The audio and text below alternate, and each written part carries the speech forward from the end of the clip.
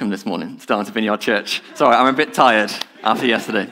Uh, my name is Sam. I'm the youth pastor here at Darlington Vineyard Church. Uh, whether you are in the room here or watching online now or later, you're very welcome to our service this morning. The order of service today, we're going to have some sung worship led by the amazing worship band behind me this morning. Uh, after that, we're going to have uh, a time where we're going to let you know about what's happening in the life of the church with some notices. And then we're going to go into a five minute break where the kids will go have a kids ministry and we'll tell you a bit more about what's going to happen with that in a little bit. And then we're going to have the amazing Tabby who's speaking to us today as we continue our series in Nehemiah. After that, we'll have some time to respond to the message and then some time for prayer as well. Uh, if kids are in the room and they're a bit sensitive with the ears, there are some ear defenders at the back uh, if you want to put them on as we go into worship. So, I'll pray for us and then we'll worship. Heavenly Father, thank you for this time that we have to come together this morning to worship, to hear your word, to be here as a community together. I just really pray that we um, open ourselves up to you this morning. However, we come here this morning, whether we're tired, whether we're ready to go, feeling alive for you, uh, whether there's things on our minds, whatever it is, Lord, just pray we come and give our all to you this morning and overflow with the presence of your Holy Spirit. Amen. Amen. So, um, shall we stand? Just as we were praying this morning, um, I had the Psalm 139 in my heart and it says, O Lord, you have searched me and known me.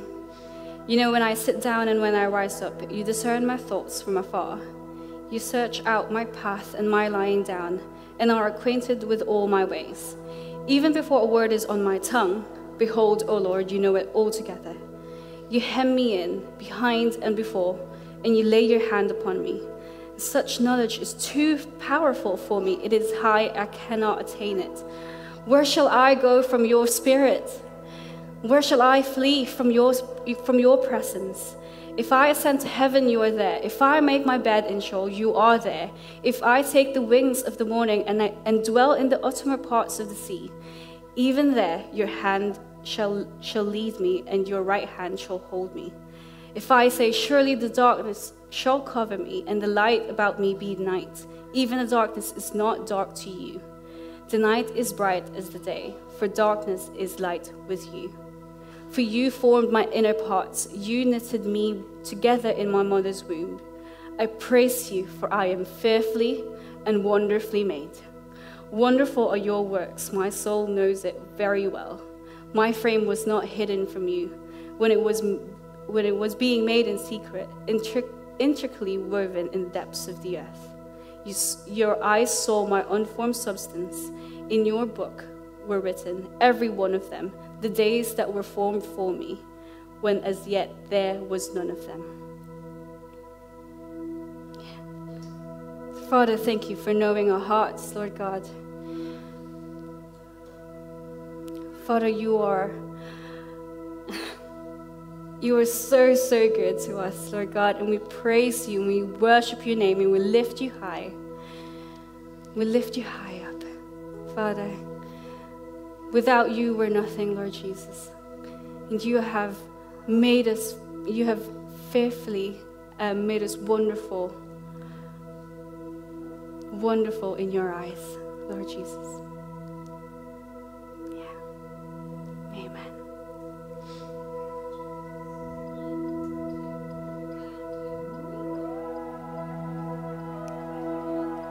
a stranger to your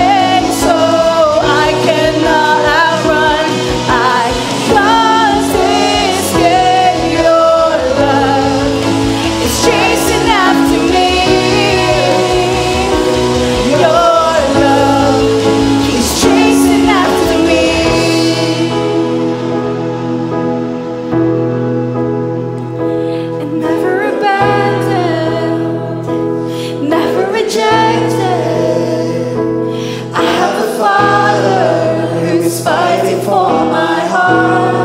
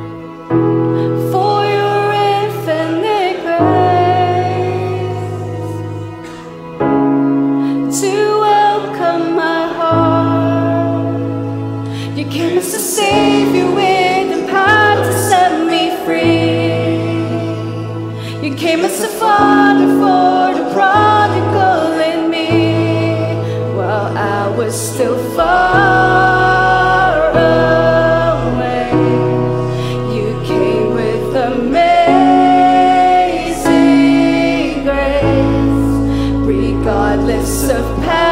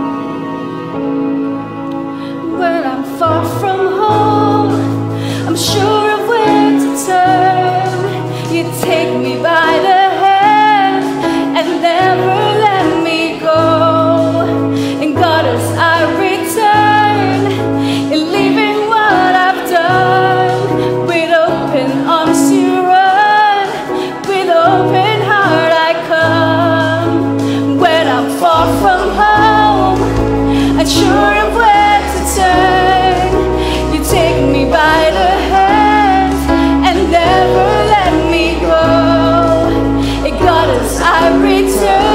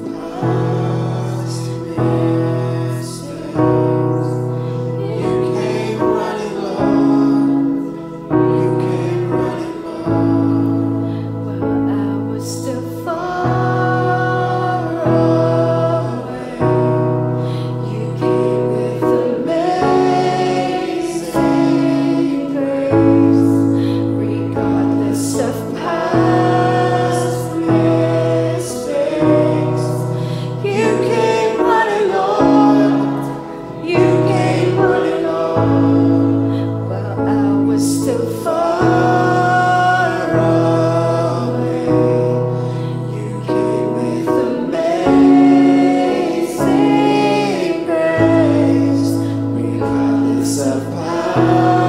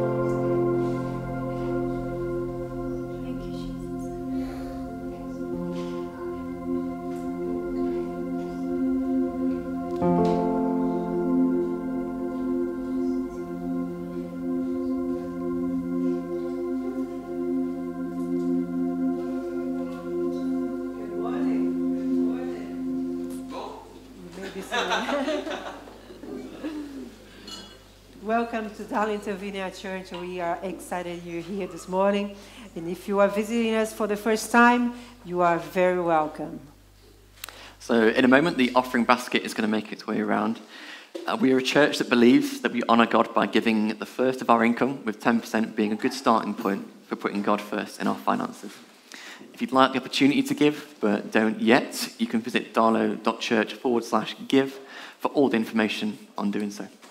Giving has enabled us to extend the kingdom here in Darlington and beyond, and to continue our mission of inviting people into a radical life of faith to impact the world through Darlington. And so we want to say thank you for following God's leading in what you already give. Uh, if you're visiting here, don't feel that you have to give anything. You can just let it go by. But please just help yourself to the sweets that are coming around as well. Mm. Many of you will give in other ways through serving, and many choose to give an offering on top of the tithe digitally. So please let the basket go by if that's how you choose to give. So, few things about the life of the church. Um, at the back of the table there, there is a welcome table. Everything on there is free. There's some great books, there's leaflets, there's all sorts of resources for engaging in some stuff um, within the church and from the things that we bring in. Um, if you're new or don't receive church communications, do please fill in one of these forms. Uh, he's got some details on the back for you to fill in, and that's how we can keep in touch with you about all that's going on within the church.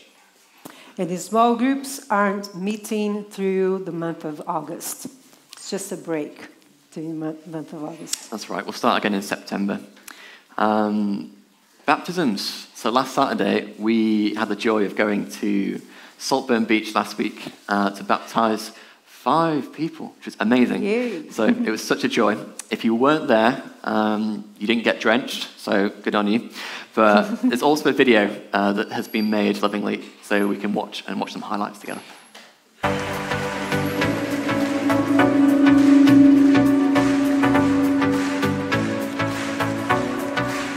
I see horizons in your eyes where all creation came alive. You made it all. You made it all. You spin the planets round the sun. You fit the pieces one by one. You know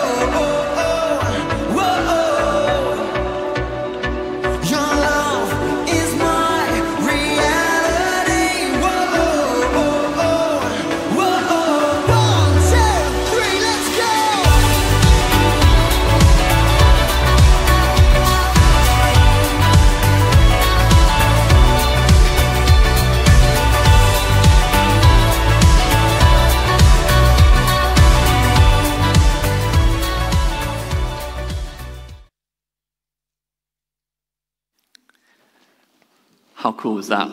Super cool. Oh, we've got double audio. That's cool. um, where are we? Oh, here we go. So at the end of August, we have our church retreat. I'm very excited about it. So it's going to be in Wydale. It's an hour and 40 minutes away towards Scarborough. So it will be a great chance to go to a very beautiful place to enjoy and being, uh, being together. Um, all food is included, so we don't need um, to have a catering team, teams. Um, if you haven't signed up yet and would like to, all the information is on dallo.church slash forward forward slash links. Nice. Just a notice as well about youth tonight. So it's a little bit different. We're going to meet at the same place. So we meet at the cafe again at five o'clock. But we are going to then travel to Eaglescliffe, to All Saints Church, for a gathering called Refresh. And that is a Teesside wide gathering of all the youth groups that want to come from Teesside. So it'll be a great chance to meet other people who are the same age as you um, and connect and worship and pray together, uh, all together as, um, as like a borough of Teesside, which would be awesome. So the plan is we're going to aim to get back for 9 p.m. So parents, if you would like to be at a cafe at 9 o'clock, that would be awesome to collect your children. Uh, and we'll keep in touch throughout uh, as we go on what the plan is for getting back. Um, if you're not aware of this and you want to find out more info, just come and chat to me or give me a message, uh, and we'll give you more information. And finally, so the reason why uh, Tabby and I are pretty tired today is because we ran a tough mudder yesterday. Um, do you want to come up, Tabby? You want to explain a bit about what happened? Yeah, so the weather was not on our side. Um, it was very heavy rain and a bit of hail too. Um, but somehow still managed to get sunburnt, which I'm not quite sure how we managed that. Um, we did a 5k tough mudder with 15, 16 obstacles. They added in a surprise one on the day. Um, and um, as you can see, got very wet, very muddy, and very cold in Sam's case. that is very accurate. it pretty much sums up the day, doesn't it? Um, but we actually had a really good time, cheered on by our incredible team of people who came down with us and literally screamed encouragement the entire way around. Oh. And probably walked 5k themselves, actually, from following us with the cameras. it was brilliant. It was, it was great fun, in amongst all of the, the dampness and the pain, but it was really good fun. Um, we have unbelievably raised from people's generosity uh, about £2,000, which is so cool. So that's all going towards, so from what we've done from running and from people giving to D- for Ruscones DTI, we just want to say thank you so much for all that you've given and all the provision that you've given us generously to be able to take children that couldn't afford to come to DTI to have tickets to then go and experience that week that's happening in a couple of weeks. Um, it's going to help pay for food, transport, stuff whilst we're there. So, yeah, thank you so much. Uh, it's also not too late to give if you'd like to already, now that you've seen our pain and suffering. Uh, the link for giving uh, is uh, it's at chippendollars.church links, or just come and chat to us and we'll give you a link. Um, I think we're going to yep. move into something now. So in a few minutes, not in a few minutes, in a few seconds, we're going to go uh, to our five-minute break. And please, uh, if you brought your kids with you and you want to um, assign them to the kids ministry, please take them to the kids ministry. Make sure you sign them in and get the sticker so you can get ki your kid back at the end of uh, the kids ministry. they don't want to keep them. Brilliant. Back okay. in five. Yeah.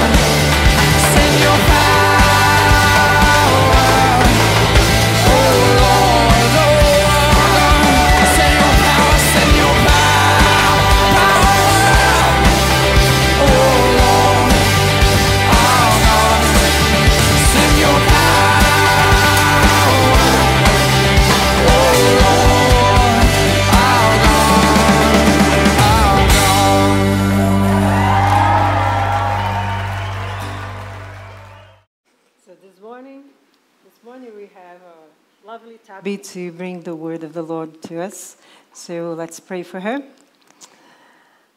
Lord, we um, just thank you so much for Tabby's life.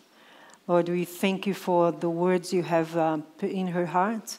Lord, and as she shares everything that you uh, encourage her as she prepared this message, Lord, may your word encourage us all here this morning and be uh, just lift us all, Lord, and may we leave this place um, exciting about being involved in the work you're doing in us and through us. And um, may Tabby be more and more inspired. Thank you for everything that she does here in our church. We pray a blessing upon her life. In Jesus' name, amen. And thank you. So, as Elisa just said, I'm Tabby. For those of you who don't know me, I'm one of the youth leaders in the church. And before we get into it this morning, as you've just heard, we did a tough mudder. So if I'm a bit stiff or you see any patches of dirt or any bruises, um, give me a bit of grace about that. Um, so, if, as some of you may know, um, we've been going for about the last two and a half months through a series following the absolutely incredible story of the book of Nehemiah. And today is the penultimate week of our series. If you've only just joined us this week, or you've missed some weeks recently and you want to catch up, or if you've seen every week but you're so excited and amazed by the story that you want to listen through the whole thing again, it's all on darlow.church forward slash watch again. So, to briefly recap, in the first half of the series, we heard about the physical restoration of the Wall of Jerusalem. We heard about the struggles faced by Nehemiah personally and the ones faced by the people of Israel more generally as they tried to physically restore their city after a long period in exile, with many people being sold into slavery under the Babylonians. In the second half of the series, we've then been hearing about the restoration of the people themselves as they rebuilt their community in their newly restored city.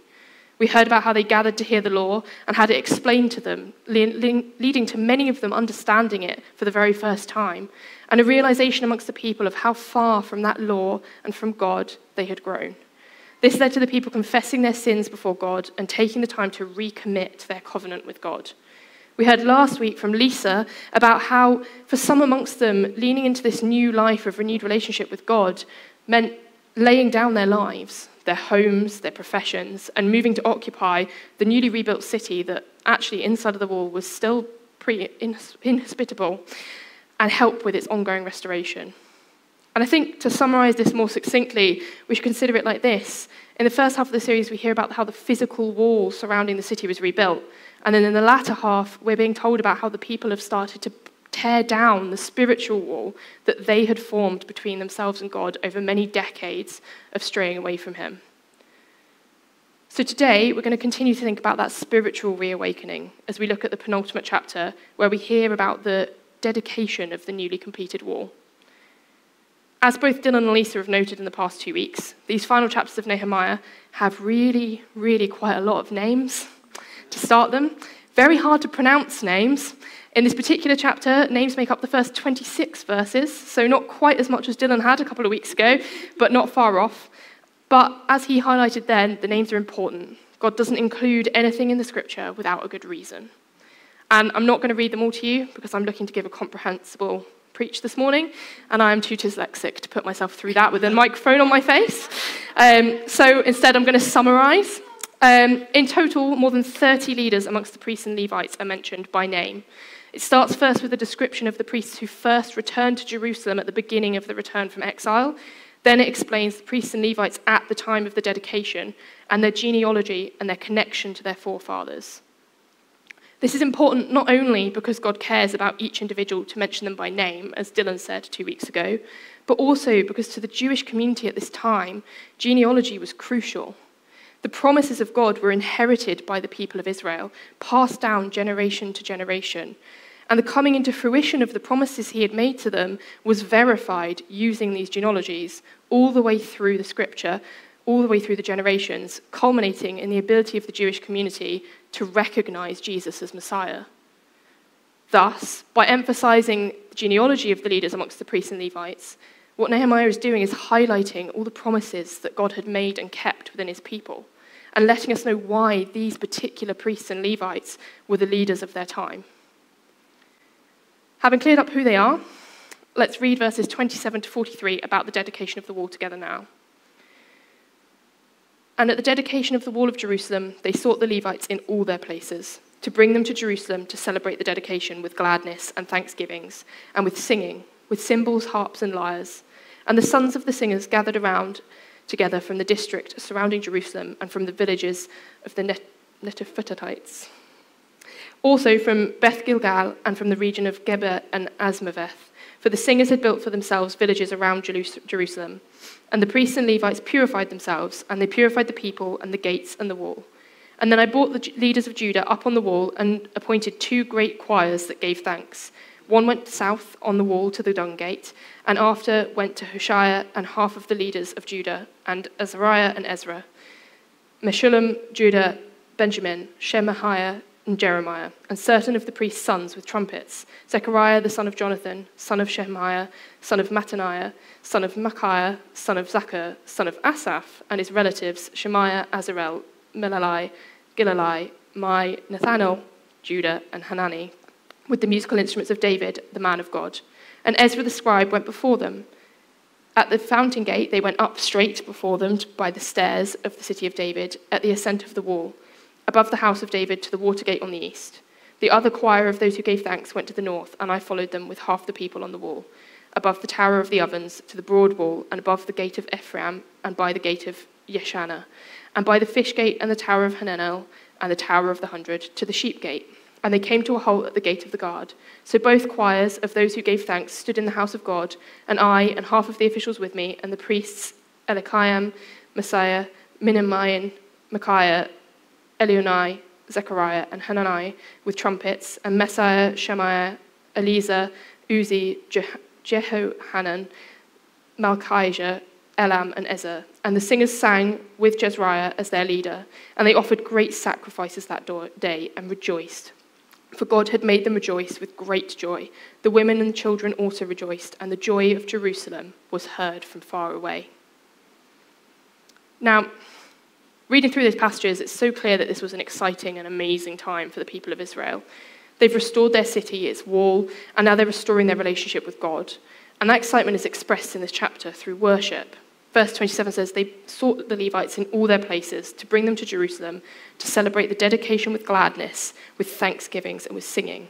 That was the ultimate purpose of this gathering to dedicate the wall to God and to celebrate that dedication by worshipping Him. First and foremost, that worship is the focus of this chapter.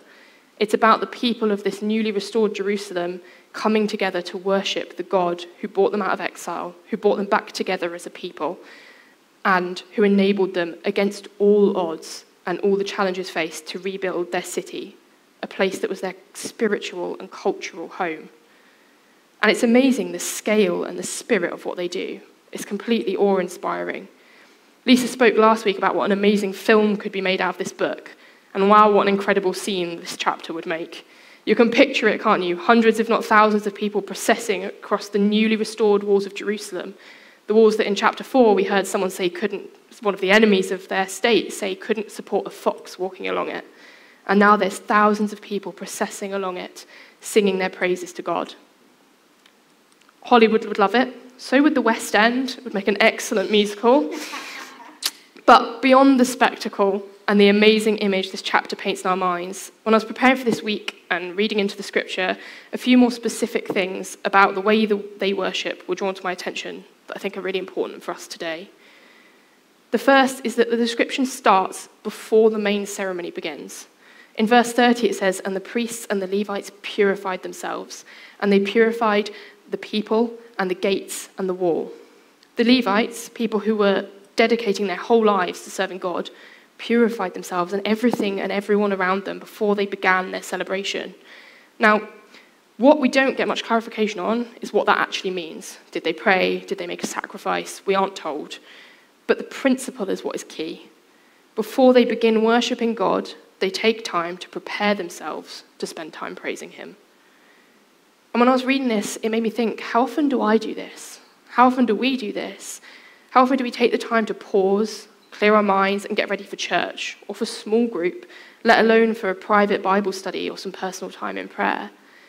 And a bit of a confession, but one that I don't think I'm alone in. I sometimes stand or sit in church with my mind wandering because I've rushed in in the morning to serve on a team or to make sure I get in time to get a coffee, or even just because the world is busy and our lives are busy.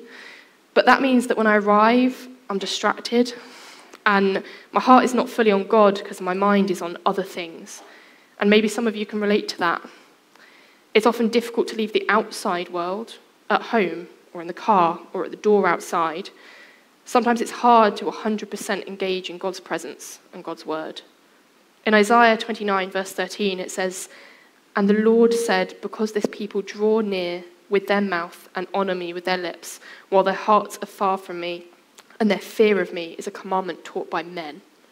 In other words, he's saying that sometimes these people say and do all the right things, they're there in a service, but because they have been taught that it's the right thing to do by men, not because their heart is truly in it, truly with God.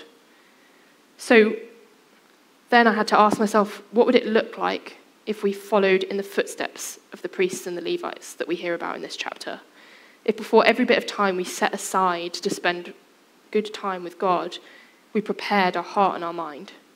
We took the time to consciously sit and try and let go of the worries, the stresses, the fears of our secular lives and just prepared, purified ourselves to spend quality time with God, worshipping Him and making space for Him to move. And that could be whether it's before a Sunday morning in church or before a small group or in our living room or our car before spending time in personal prayer or listening to a podcast or worship music. Wherever you are, consciously putting aside time to spend with God. And for me, when I do do this and I take that time to think about it, I find two things. First, I am able to engage more in what God is doing and speaking over my life. But secondly, I think it's easier to take that out into my week from that moment and into my life outside of church. So I just want to ask everyone to reflect for a second. Ask yourself how often have you spent time sat in church on a Sunday morning and you're paying attention and the talk is incredible, but by Tuesday you couldn't explain the message that you heard or the learning that you gained from Sunday. Or say what worship was like.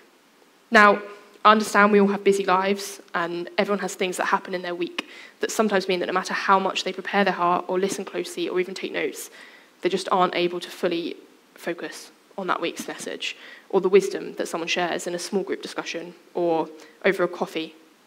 But I believe that by building into our lives a habit of taking a moment to ready our hearts before we meet with God, we have the potential to bring our hearts closer to God and deepen our understanding of what He's doing in them and doing in our lives, and then take that understanding forward into our communities and our homes.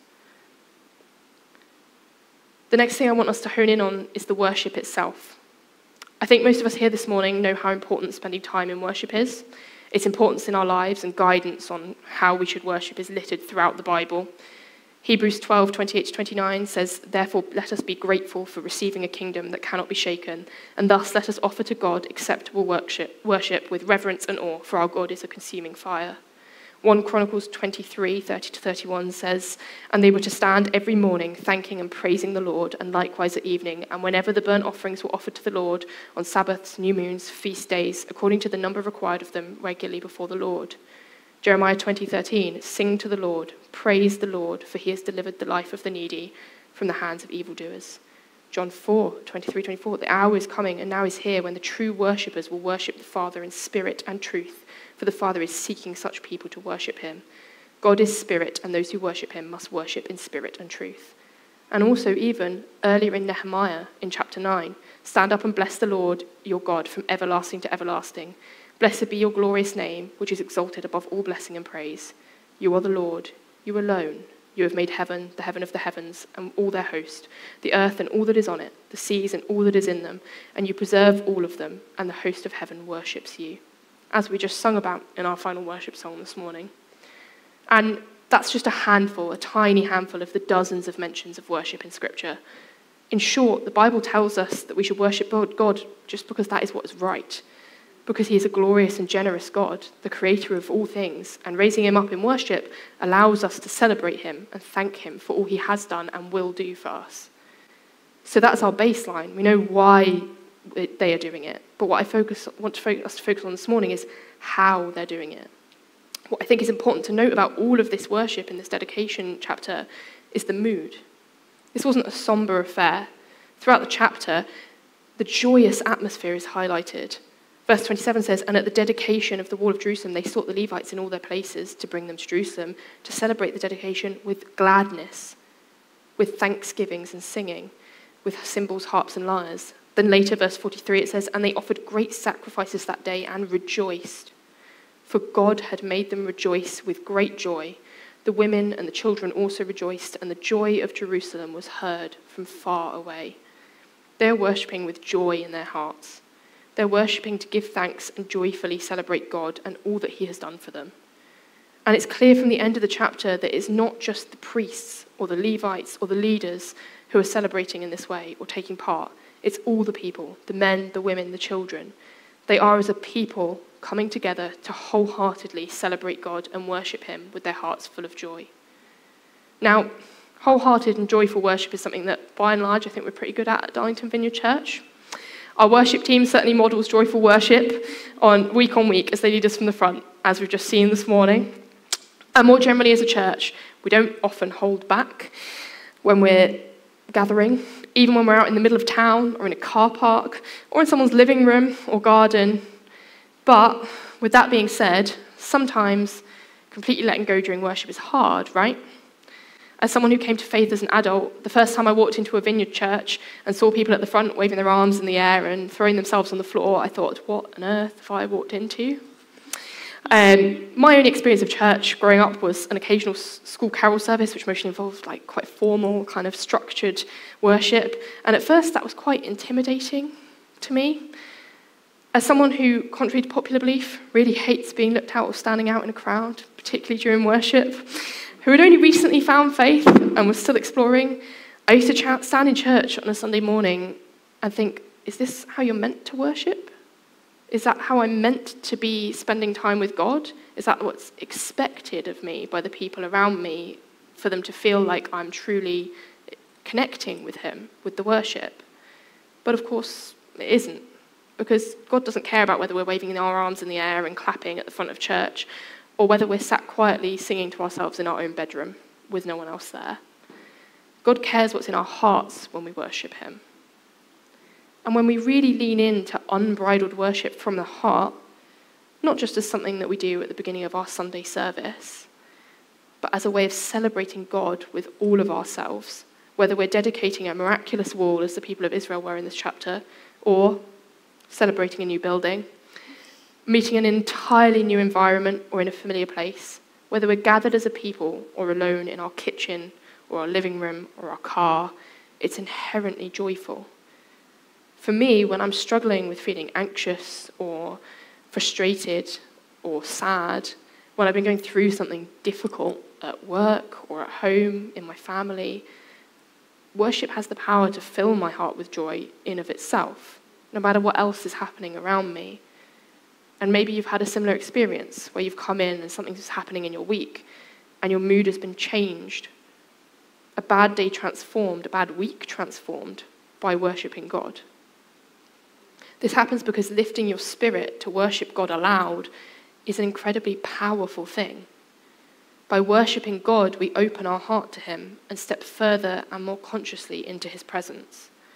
And that alone can change your whole mood, your whole day. So I want to suggest that the next time you're feeling sad, frustrated, worried, whatever it is, put on your favourite worship song. Turn the volume as high as you can and find some time to worship God and sit in His presence. But beyond just the impact on your own spirit, worshipping God with joy is important for another reason too. And that is that your joy in worship has the ability to impact others.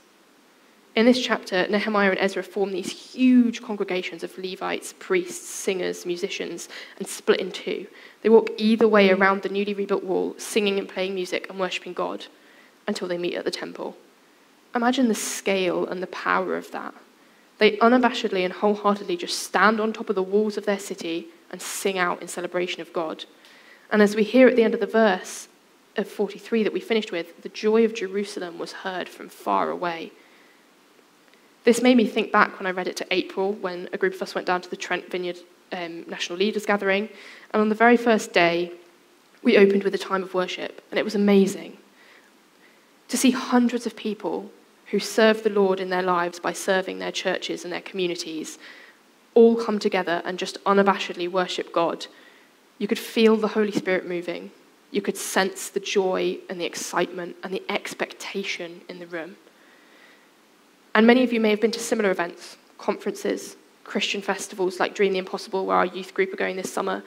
And if you have, then you know that when the people of God gather like this and celebrate Him, that joy, that excitement is infectious to anyone in the room or the vicinity.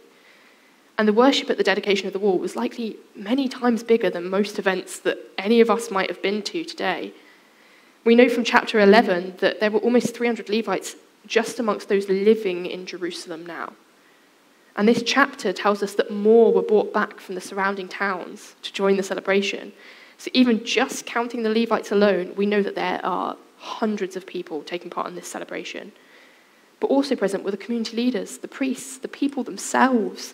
The scale is massive. And with that in our minds, you can imagine it, can't you?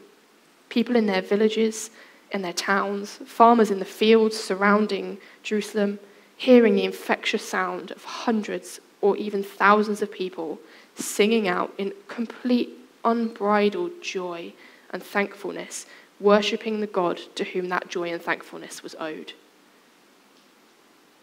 When we sing out our praises with joy, like these people did, we demonstrate to the wider world and the community that we live in what living a life in relationship with God looks like. It showcases to those around us who do not yet know God the type of true joy that comes only from knowing His love and His presence in our lives. Demonstrating God's love and the joy of living in active relationship with Him through worship is one way that we reach the hearts of some of those who don't yet know Him. And in many cases, it's a really good way of opening the conversation with them. People who would otherwise close off their minds and their hearts to Him, even as He is pursuing them. It sometimes allows us to start that conversation when they feel the joy of listening to our worship. And perhaps some of you here, worship was what first drew you to church. Or perhaps it was the thing that reignited your faith after a difficult period. Or maybe, as is the case for myself, during sung worship was the first time that you felt the Holy Spirit move and recognize that presence in your life. Perhaps, as I say all this, some of you are thinking, well, I worship God with joy in my heart, but quietly, because I love worshipping God from safely amongst the congregation or safely inside my own home, but something like serving on our amazing worship team, trying to do sung or musical worship, is definitely not in my repertoire. For me personally, joining the worship team would do the exact opposite of what I was just talking about, because no one walking past the building would want to come in. They would want to run as fast as they could from the noise that I was making. Um, but this leads me to my final point, which is that I want to make on this topic. Something that I think is often forgotten when we talk about worship is that sung worship, incredibly important though it is, is not the only way to worship God. With that in mind, and to round off this morning, I'd like to briefly draw your attention to the final few verses of the chapter, which is 44 to 47.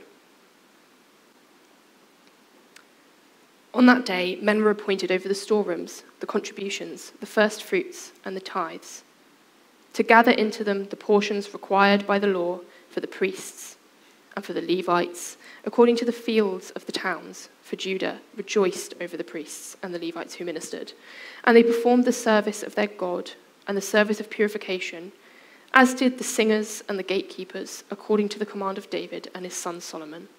For long ago, in the days of David and Asaph, there were directors of the singers, and songs of praise and thanksgiving to God. And all Israel, in the days of Zerubbabel and the days of Nehemiah, gave the daily portions for the singers and the gatekeepers, and they set apart that which was for the Levites, and the Levites set, set apart that which was for the sons of Aaron. So, in this final bit, we hear how others serve by providing for the city and the community, by providing and caring for the Levites who are providing this worship. They're taking care of the storerooms, the contributions, the tithes. For some, their worship the time they feel closest to God comes not from singing on a Sunday morning or in the shower or wherever else, but from serving others. Whether that's serving in our wider community through your job or through voluntary work, or serving our church community like our amazing setup, refreshments, welcome teams, just to name a few. The things that people do day in and day out in our cafe, in our shop, the things people do week in, week out on our teams, and if we serve our community with God in our hearts as a form of worship, then the same thing applies to this as applies to sung worship. When we do it with thankfulness to God and joy, and our hearts and minds turned to God as we do it, then the whole world around us gets a window into the brilliance of a life lived with God, for God. So, as you go out into the rest of this week, I want you to try two things. First, begin to build a habit of taking a moment before your small groups, before your Bible study on your own, before church next Sunday, to pray, to sit in peace and invite the Holy Spirit in and ready your heart to worship God and hear His word. And second, however you choose to worship, whether it's sung worship, art, serving others, whatever it is, I ask you to be conscious of remembering why. Remember how absolutely incredible our God is and how joyful it is to recognize that through worship. And before we round up this morning, I'd like to practice what I've been preaching. So, in a moment, I'm going to invite our wonderful worship team to come back and join me at the front. I'm going to ask you to stand to sing another song of worship together. But first, let's take a few minutes to prepare our hearts and invite the Holy Spirit in and ready our hearts to joyfully worship God and raise Him in praise and thanksgiving. So, dear Lord, we thank you. We thank you for everything that you have done for us, both individually and as a people. We ask you to fill our hearts with joy and remind us today how joyful a life led by you can be. So, Holy Spirit, come and fill this space and fall upon us all now. Prepare our hearts of everyone here today to be with you now. Holy Spirit, come.